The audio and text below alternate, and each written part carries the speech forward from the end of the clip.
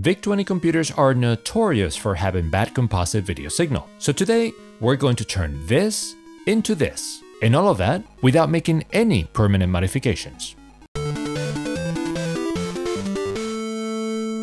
Hello and welcome back to Noel's Retrolab. The VIC-20 is a system that fascinates me. I never used one back in the 80s and I'm much more familiar with the Commodore 64, but there's something about the simplicity and the historical significance of the VIC-20 that really attracts me. I've had this VIC-20 PAL in my collection and I remember it had some problems with the quality of the image it puts out, but I never stopped to really fix it. So in today's episode, let's have a look at it and make sure that the video signal looks as good as possible. Let's start by actually seeing what the problems are with the image. I started capturing the image directly from the composite signal on the VIC-20, but the results are really washed out compared to what I see on the TV. That might be a sign that something is wrong with the signal, or maybe it's just my capture device that doesn't like it for some reason. We'll come back to that at the end.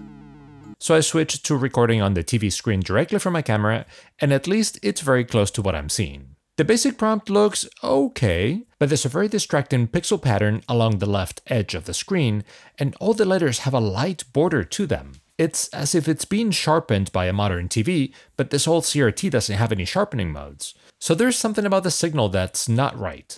On games, it's even worse. Look at the letters at the top. It's as if there are extra pixels in between the letters, making it really difficult to read. And in-game is more of the same. Those letters on top are pretty much unreadable. Then I tried another cartridge I have, Gorf, and things got even worse.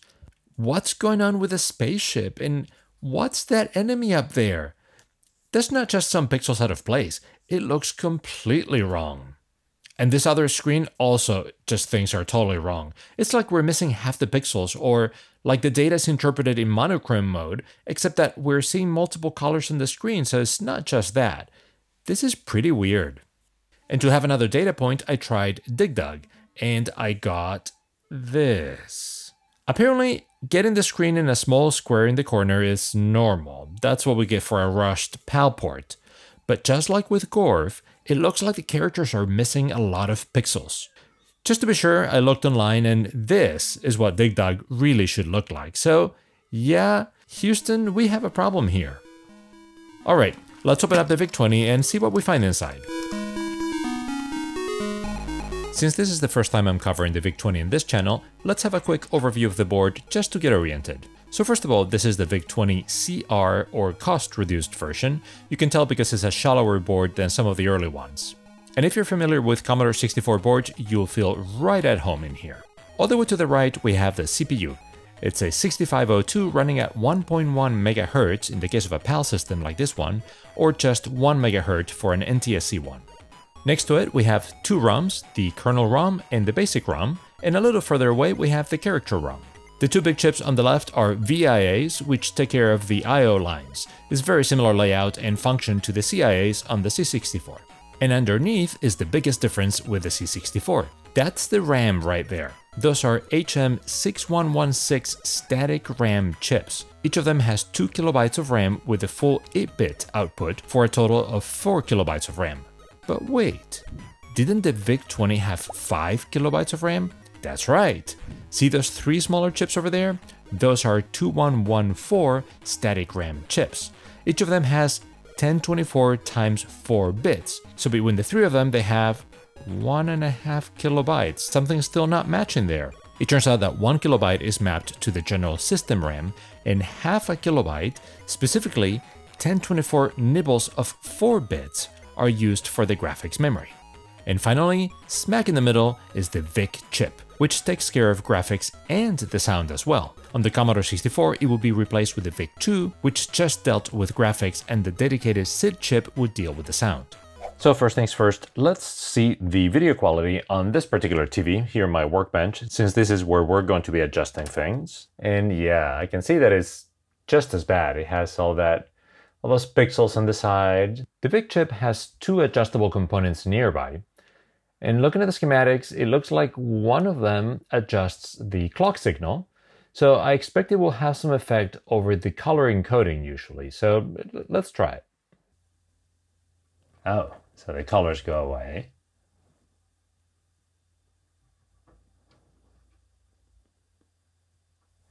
It's not really making any difference, yeah. Yeah, that doesn't seem to make any difference at all. And the other one should control the voltage of the composite video output signal. So really we should see a difference in brightness um, as long as transistor Q2 is biased correctly. Yeah, that gets brighter.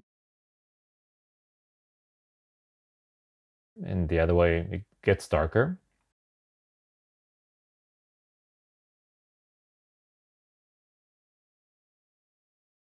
So that actually looks better, but I think it might be a side effect of the LCD. Let's try that on a CRT TV to be sure. So as I suspected, we're still seeing that pattern in there. And if I adjust it here on the CRT monitor, it just gets darker. So there isn't really a jump where that goes away. So I think that was an artifact of the LCD, like it gets past a certain brightness and it just smooths that out. I still like it brighter than it was before. I mean, before it was before it was like this. So it's definitely a lot nicer, something like that. So let's have a look at the video signal out of the VIC chip. So pins 2 and 3 have the color in one and luminance and sync in the other. Okay, that looks like the color. And then on the other one, we should have the luminance and the sync. There we go. Yep, that's, that's exactly right. And that's even probably the blue border and then the white text or the white background of the screen and then the blue border and then new frame starting there. And then that little noise that you see there sometimes, that is probably the fonts, is the is the text that we see on the screen. That's probably ready because it's right there. So yeah, you can kind of see slices of the screen on the oscilloscope. And then a lot of the circuitry here, what it does is it combines those two signals into a composite signal, which is really those two signals that we just saw combined together.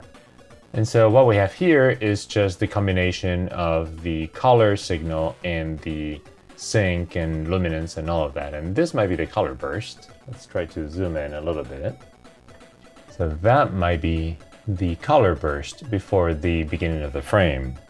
So yeah, I mean, just visually, everything seems fine. It's not like it's missing any color information. I mean, obviously couldn't because we were seeing color. I don't have a good way to look with the oscilloscope to see if that color information encoded there is matching the luminance exactly. That's um, so they could be slightly off. They are probably slightly off. That's why we're getting those patterns, but that's not something we can easily just see with the oscilloscope. At this point, I did some research on the VIC-20 graphics modes just to see if I could figure out what was going on with games like Gorf and Dig Dug. And that's when I found out about the multicolor mode from the excellent VIC-20 Programmer's Reference Guide. The VIC-20 starts up in what's called the High Resolution Graphics mode. The screen is 176 by 184 pixels. In that mode, characters are 8 pixels by 8 pixels, so we have 22 columns and 23 rows and all of the bits in each character can either be the background color or the color for the character. However, since having each character be just two colors is very limiting, and the VIC-20 doesn't have a true bitmap graphics mode, it does provide another mode called multicolor mode that is used in many games to provide more colorful graphics. In multicolor mode, each character has half the horizontal resolution, so it's 4x8, but each pixel can be up to 4 different colors, I have a feeling the problem we're seeing in Gorf and Dig Dug was related to that graphics mode. By the way, all of this is really well explained in the VIC-20 Programmer's Reference Guide. I love the technical details and amount of information they included. It even has a full circuit diagram for the computer in the back. They don't make them like this anymore. So let's see if the problem is with the multicolor graphics. In order to switch multicolor graphics, I need to type poke 646 10. So what we should see is that each pixel in a character can be of different colors, and the character itself is going to look a little chunkier because it's going to be lower resolution.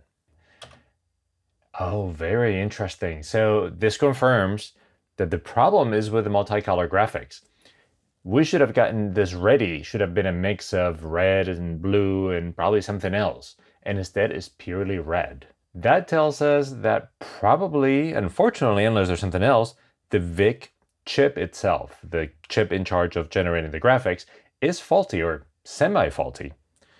And then I read that Control 7 returns to the normal mode. There you go. Okay. Yeah, so that would explain why games like Gorf looked so horrible, because they were making their graphics as a mix of characters with multiple colors.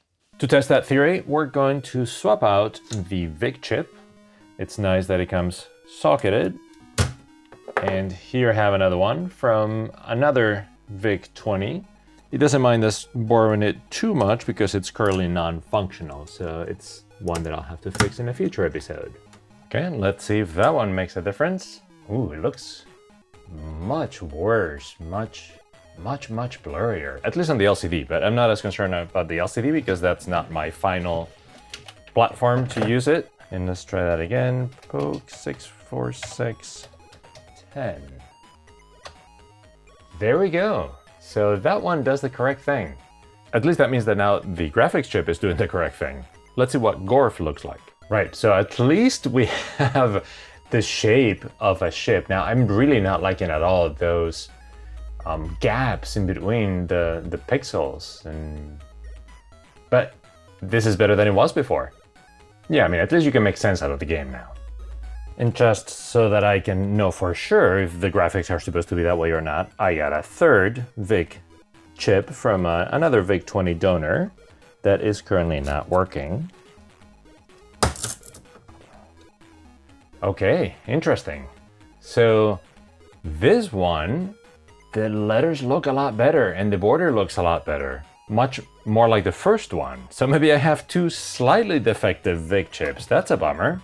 And what about multicolor mode in this one? Yeah, that looks good. So this might be the best one of all of them. I didn't realize there were so many variations and this one for sure looks the best of the lot. Now that we have a correctly working VIC chip and those games look much better, let's turn our attention back to the general video quality and see if there's something we can do to improve it. To start with, let's have a closer look at the circuit that generates the composite video signal. So looking at the video circuit here, it looks like somebody was here before me. Uh, definitely see some mods, like for example, there's this capacitor labeled capacitor 13, but instead of going into the one of the leads going into that hole, it's actually going all the way over there to the next to the variable resistor that we use for adjusting the intensity level. But then once I saw the back, then I realized like, okay, definitely somebody was here. We have a capacitor stuck in the back and then two really ugly looking resistors um, in there. Actually, after looking at the boards of the other donor VIC-20s, which all came from different sources, they have some very similar circuits to this one. They both have a component assembled diagonally, although it's a resistor instead of a capacitor, and they also have one capacitor soldered in the back. So I'm going to guess that those parts were assembled that way at the factory. All right, so for now, I think what I'm going to do is I'm going to leave this capacitor and I'm going to leave the lead change, since that seems to be probably standard from the factory but I'm going to get rid of those two resistors and see if there's any changes. And also at the same time, I'm going to get rid of this annoying um, metal piece around it. It just makes it really hard to get to the VIC chip and everything else. And we're not going to need it. Once we're done, we're going to place a heatsink on top of the VIC chip. So let's do that.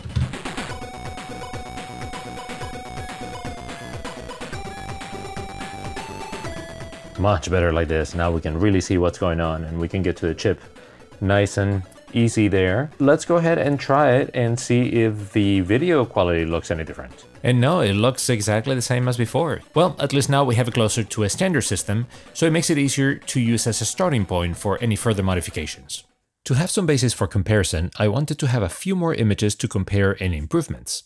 So apart from the basic screen which we saw earlier, I also use this color test program, which is great because it detects weird interactions between colors in those vertical colored bars. This kind of video quality is something very common in VIC-20s, both PAL and NTSC alike, so it's not something specific to this particular one. One very common way to improve the video quality is to make a small mod to the video circuit and generate an S-video signal instead of a composite signal. We already saw that the VIC graphics chip generates two signals, luminance and sync on one pin and chrome or color information on the other. To get a composite signal, you need to combine the two, which is what all this circuit is accomplishing.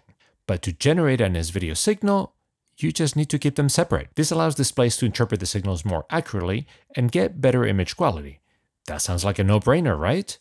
In theory, that sounds like a good approach, but unfortunately, I don't have any displays that accept S-video signals. The only way I may be able to use it is with this cheap adapter that takes S-video, but I suspect that internally it just combines the two signals into a composite signal, so we may not gain much from it.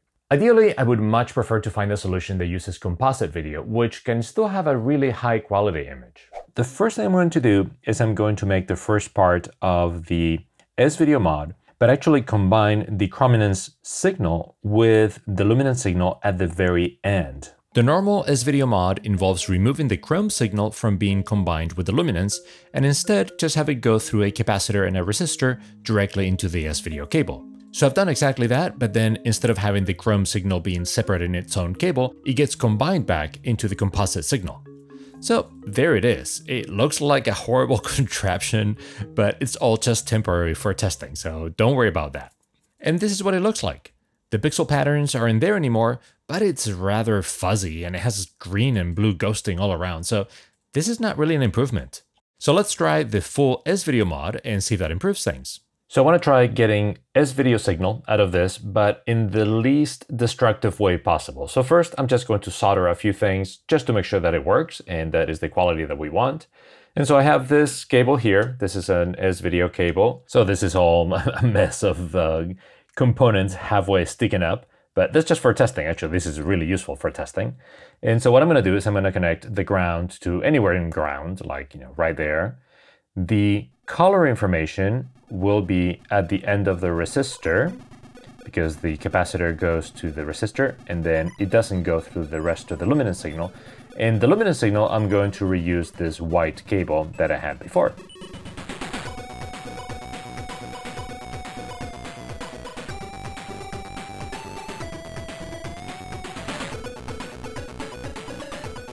It looks really ugly, but that way we can see if it works or not, and then we'll worry about whether we need to break some tracks.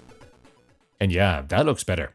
I'm actually surprised it looks this good because I'm pretty sure that my Sony CRT TV doesn't support S-Video natively because it's pretty old.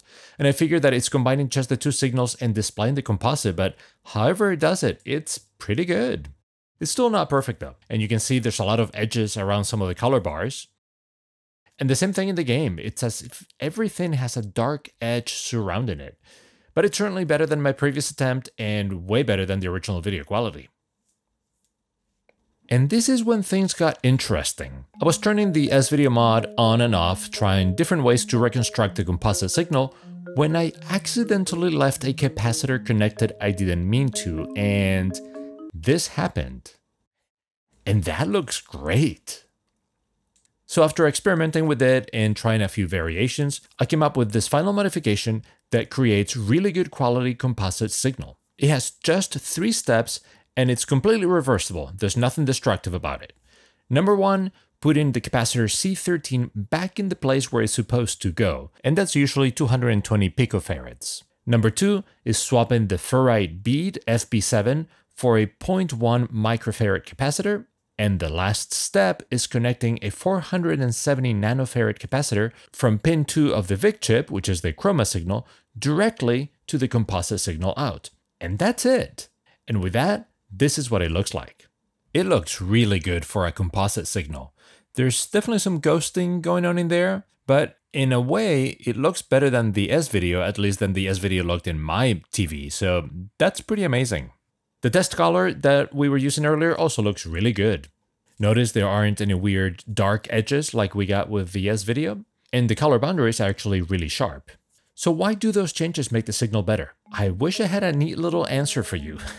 Connecting the 470 nanofarad capacitor to the end gives the chrominance signal a high frequency path to the end, which may help with some of the distortion of the combining circuit. The other changes, I tried them a few ways and those just looked better on the monitors that I was using, so I'm afraid I don't have a more satisfying answer. So yeah, I would definitely recommend this mod on a PAL VIC-20 CR at least, especially since it's completely reversible. If someone tries it, let me know how it works for you. And also if you decide to try this on a non-CR board or even an NTSC, I don't know if it would make any sense there, definitely let me know. And as a final touch, so it lasts for a long time, I'm going to put a heatsink on the VIC chip because it gets pretty hot. First I thought I would use this kind of uh, heatsink because it's, uh, it's the full-size one, but it just takes over a little bit. And with so many components nearby, I mean, I know that some of them are coated, but I'd rather not push my luck. And instead what I'm going to do is I'm going to use two smaller ones and I'm going to overlap them in the center of the chip. This is where the most of the heat is coming from. So I'm hoping that putting them something like that will you know, effectively make it so it's one large heat sink.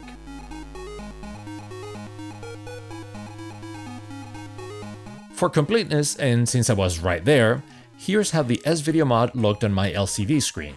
And yeah, that doesn't look very good at all. I don't know if the LCD doesn't like the S-Video or it's the way it's combining it, but that looks greenish and not very good at all. And here's the final composite mod, which still doesn't look great, but it looks much better than the S-Video for some reason. Oh, I also tried doing a direct video capture again. Remember that I had problems with it at the beginning, and the colors are very strong. So that was probably just the intensity level tweak, but it's good to know that I can capture video that looks good again because I will be doing future VIC-20 content. And to wrap it up, let's check out some of the games that I had tried at the beginning.